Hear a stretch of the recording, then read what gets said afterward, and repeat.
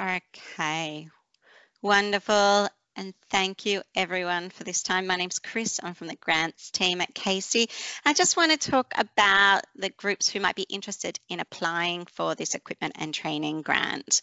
Uh, typically, all of our applications come from definitely not-for-profits and organisations who are based in the City of Casey or they service or support residents of the City of Casey. They're our priority for this funding. Most organizations are incorporated or have some type of legal structure behind them. If not, you might be part of a community group that could engage an auspice and work with an auspice, a big brother organization who is already incorporated, and they could help you apply for this grant. And I can answer questions about that later if you have any, or you can email them through. Uh, you'll be expected to have public liability insurance uh, with the $20 million minimum value on that. That is a standard across all of our grant applications and our requirements for all of our grants. And when you go through the application form, I'll show you later, but you will be required to attach a current certificate of currency that shows that your public liability is current at that date. And please note, don't attach a tax invoice to the application form, we really need a certificate of currency, and that's what it's officially called. If you're not sure that you have one for your organization, give your insurer a call. They'll be able to email it to you quite easily. Um, so let's talk about these grants, equipment and training grants. There's really three main purposes and three things we want um, Casey community groups to benefit from. One, we want these grants to support and develop volunteers and group members. So there's a real emphasis in thinking about the types of training that might really boost your group and provide some skills and some experiences to your volunteers or your group members that's really going to help your group stabilize or even grow over time. We like these grants to help you buy equipment to do all the things that you need to do to develop to deliver those great programs and events and things that you do for our community so well. So buying equipment is a really big part of this. Um, and we want you to think about how equipment or training might help you diversify your programs or do something a bit differently or make them more inclusive so that more people can get involved with your group um, or the programs and services that you're going to deliver um, through your group. Um, I did want to talk about what the grants can be used for. They're the three I, goals that we're looking for, but these are the types of things that we often get requests for. Um, you I don't know how many people in the room have applied for a, a, grant, an equipment and training grant from us before, but these are the types of typical equipment requests we have, or the different types of training that groups come to us um, looking for. So there's leadership courses and coaching, particularly for sports clubs. First aid training is really popular across the board. It's really important um, part of running a community group. Um, and I just have put a link down the bottom there there in case you don't already have an idea about what uh, equipment or training might suit your uh, group and your application this year. There's a link there, you'll get this in the slides and it'll navigate you to the Casey website. It'll just show you what previously funded applicants have been able to purchase with this grant. Um, I think someone's in the lobby. Lobby? Just... Yeah. Um, so yeah, lots of ideas, chairs, tables, whiteboards are popular, gardening equipment, particularly if you're in a community garden or running a program like that, uh, all kinds of um, music cooking for cooking equipment, pots, pans, whatever, what, whatever it is that you need to do what you do best for the community, that's what you can consider through this grant. But there are some items that aren't eligible. So there's some things that this funding cannot be used for. And there's a list here. It's the same list that's in the guidelines. And I want you to really have a look at it, go through it and make sure that this these costs aren't part of your grant request because they won't be able to be funded. So equipment that won't be stored in the city of Casey, we won't be able to fund that through this program. Consumables like paper, uh, stationery, masks, uh, first aid kits, so all your band-aids, things like that, they're all considered consumables and you can apply through this funding round. Items for fundraising purposes, gifts for people, prizes or trophies or awards can't be funded. Um, and there's a list there. I won't go through them all. Um, a lot of them are obvious, um, but some aren't. So have a think about what costs you would like us to cover as part of this grant application that you'll be putting in, and just make sure that none of these things are in your list. You'll need to be able to think of other ways that your organisation can meet the costs of any of these things that you're looking for. So that might be through fundraising activities or membership membership fees or contributions or sponsors, business sponsors, that type of thing. Oh, sorry. Sorry, Chris. no, well, good. You're keen. Over to you. I thought you were about to finish up.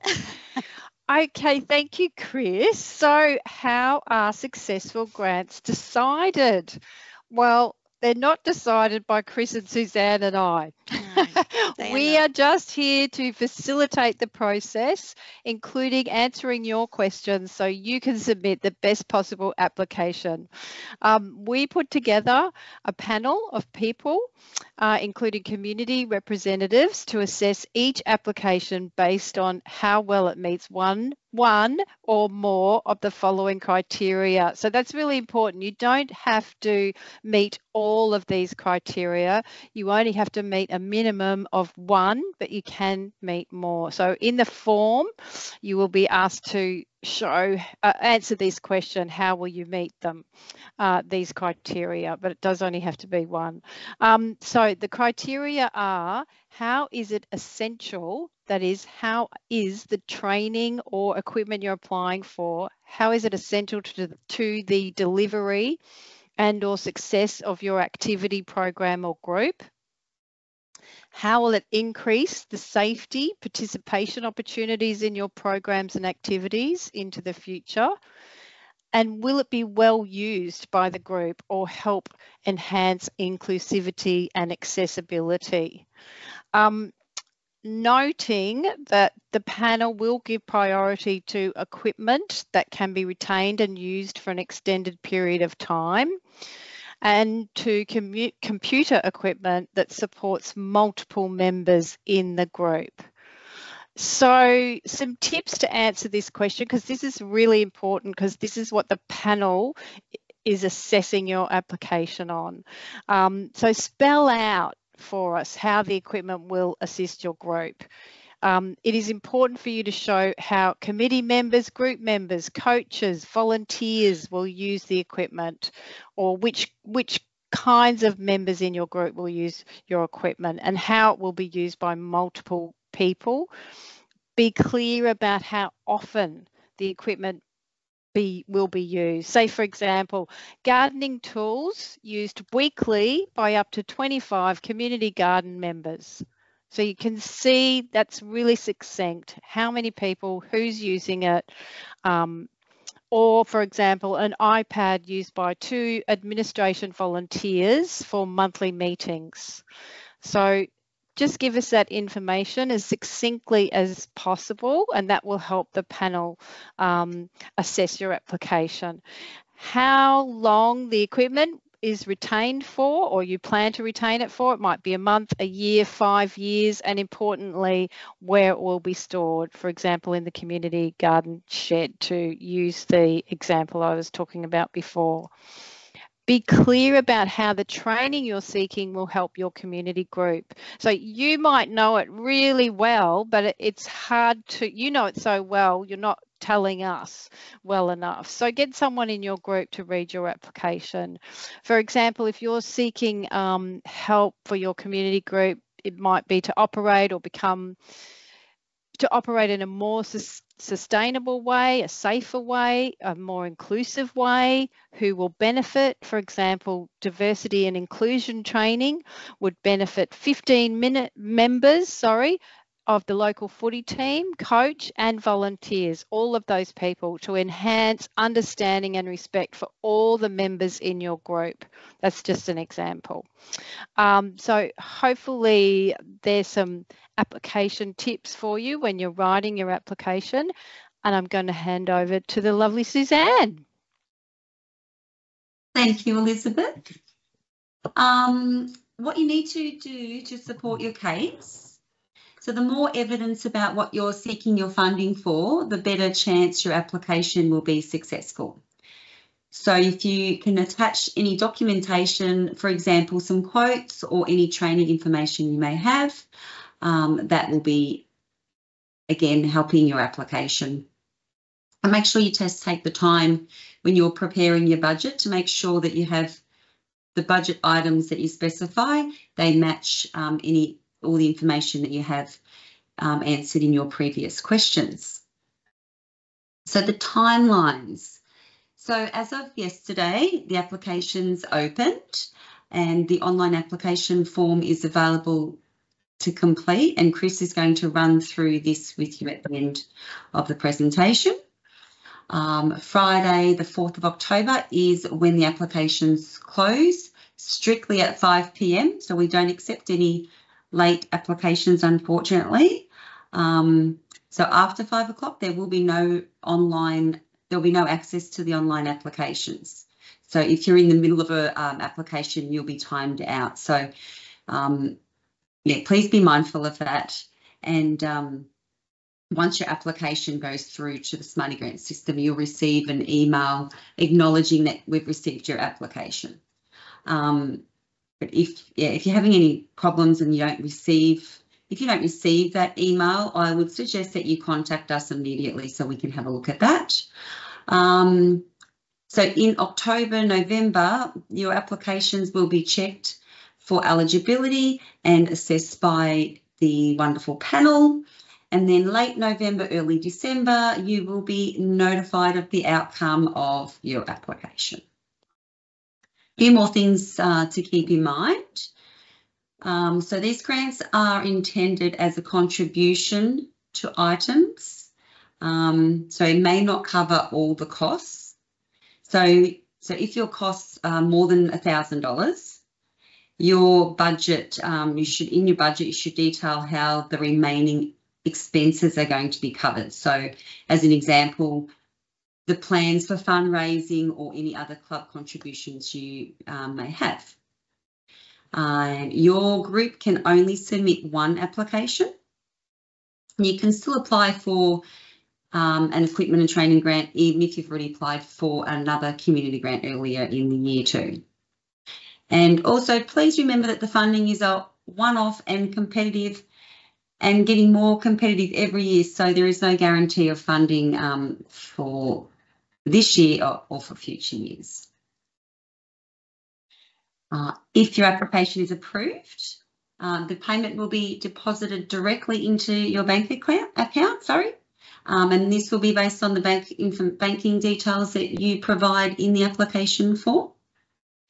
And just remember, it's important that you um, just inform the organisation, other committee members about the success of the grant application. And you should only spend the funds on what you have applied for. So please collect any relevant information to acquit the, the grants. So, you know, hold on to receipts and any other information that you may have um, at the time of purchasing, because this will help you when it comes to acquitting later. And you'll be, so the acquittal form is completed online and um, a link to this form we will email to you after you receive the payment for the grant. So just a little bit more on acquitting your grant. Um, that, so as I said, those forms are online through the Smarty Grants portal. And um, yeah, so with these forms, you'll be reporting on the grant monies that you've spent in line with the application that you've submitted. And you need to, um, as I said before, if you can keep any receipts or um, flyers or photos or anything that you can provide us when you're acquitting, um, that'll help uh, acquit the grant on our side. And um, it's just to showing what the funds have been spent on. And the due date will be set for 60 days after you have proposed to spend that money um, or by the 30th of June for 2025, whichever becomes, whichever's earlier. Um, so that is about acquitting and I am now going to pass it over to Chris to talk about the online application form. Thanks, Chris. Amazing. Thank you. I wanted to just do a brief walkthrough of the online application process, which will be hopefully helpful for the people in the room who haven't applied before, um, because we do use an online system called Smarty Grants. We've dropped that name a couple of times. Um, and it is our online database for our grants management. We use it for every grant um, that is community facing. And I wanted to just give you a bit of an introduction so you know what to expect. Now, I'm going to share, you know, when you've got to cross your fingers and toes that this will work, because tech has a way of not. Oh, and there's someone in the lobby. Um, have you been able to spot my screen? I could get a yes, yes I have wonderful. So I'm looking at the City of Casey website here. Um, and this is where you'll go. Obviously, if you haven't already, please come and have a look at all the information that we have here online. This is all the guidelines and all the rules that we have relating to this application um, and to this funding. Uh, we've covered a lot of that already in this session, um, but I wanted to point out a couple of things here. One I mentioned earlier, you can have a look. If you follow this link, it'll show you previously successful applicants. Um, so what have we funded in previous rounds of this equipment and training grant? You can have a bit of a look to see if it's something that your idea has been funded before for other groups. And it's just good to know um, what other groups are, um, I guess, investing in and what you might have in common with a whole lot of groups that are applying for this uh, funding round. And here oh, you've probably accessed the registration for the information session because here we are, but this is the, a way to access the application form. And I hope you've been able to have a look at that as well. You should have been able to preview the form. So it'll bring you to a place like this here where we can preview the form. I hope you've been able to click on that. We'll come back to that. But I wanted just to flag that to use our Smarty Grant system, you're going to have to create yourself a login for your organization and a password. And this is the same login and password you can use for every grant that you apply um, for at the City of Casey. So it's really important two things. One, um, please write down your password and share it with other people in your organization. It's likely that you won't be the only person involved in grants at your organization. It's really important that other people can access it. So make sure you use a password that everyone knows um, or that you've shared. And also, when you're use, using an email, maybe when you're creating an account, use a common email that your group uses for other purposes so that multiple people can log in and be up to date with any emails that we're sending um, in relation to any grant applications because that's the email address that we will use for all of our communications to let you know if we need more information for an application, to let you know if it's been successful or unsuccessful. So top tip, if you're creating an account here, you'll need to register. It's very simple, um, but use a really common email for your group, not preferably not someone something that belongs to one person, something that other people can access, and a password as well that you write down and share um, with others in your group. I'm just going to use for the purposes of, of this exercise just one of our um, accounts that we've set up here. I just wanted to hopefully give you a bit of a walk through about what to expect. So you might, I just want to show you some of the navigation here. So on the right hand side, there's a form navigation section. It's really useful. Um, we've got, uh, what's that, nine, ten different pages for this application form, but I promise it's really quite a couple of questions on each page. It's a grant um, that's quite simple to apply for. It's a small amount of money. Um, so we've tried to keep it as simplified for yourselves and for us as possible. But the first page is all around entering organization information. You can navigate using the form navigation on the side or there's next pages down the bottom. Um, you'll be prompted to No, you won't be prompted to save. I am asking you to save your progress from time to time.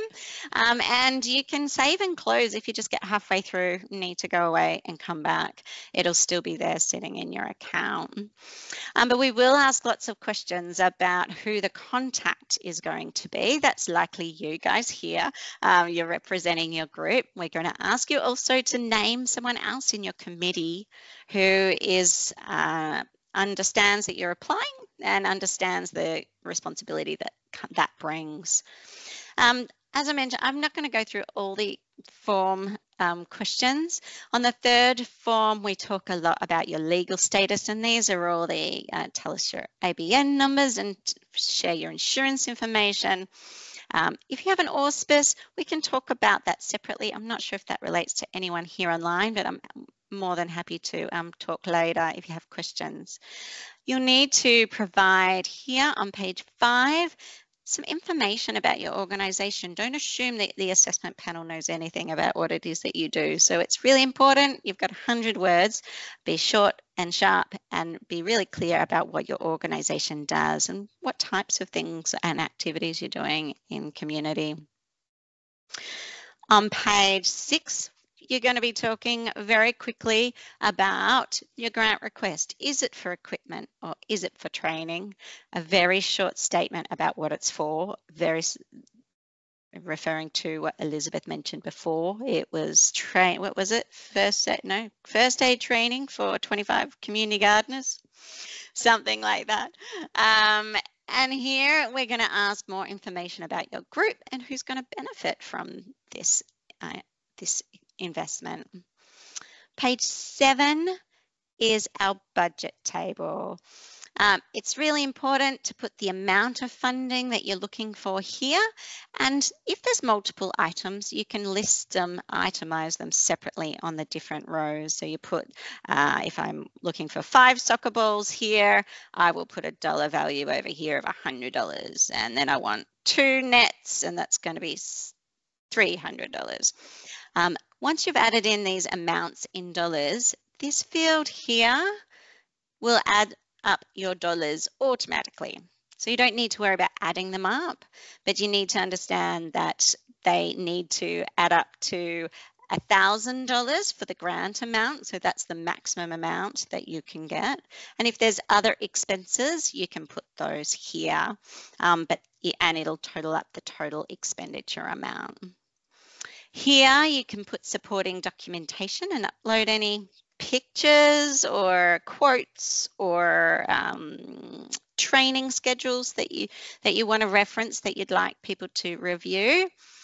And an important question down the bottom when we're talking about funding is if the assessment panel decides to recommend part of the funding, could you still go ahead with the training or equipment purchase? So if the assessment panel decides uh, to allocate uh, $500 for the training, and not a thousand dollars that you're requesting, does that mean that you'd still go ahead, but maybe half the people wouldn't get trained? Is that okay? And it's totally up to you guys. These are your groups and you know your own needs. We're just looking to find out what is it that you really need. If it can't proceed without a thousand dollars, if you need all the people trained, you need to tell us here. Um, we will ask for your bank details please provide them.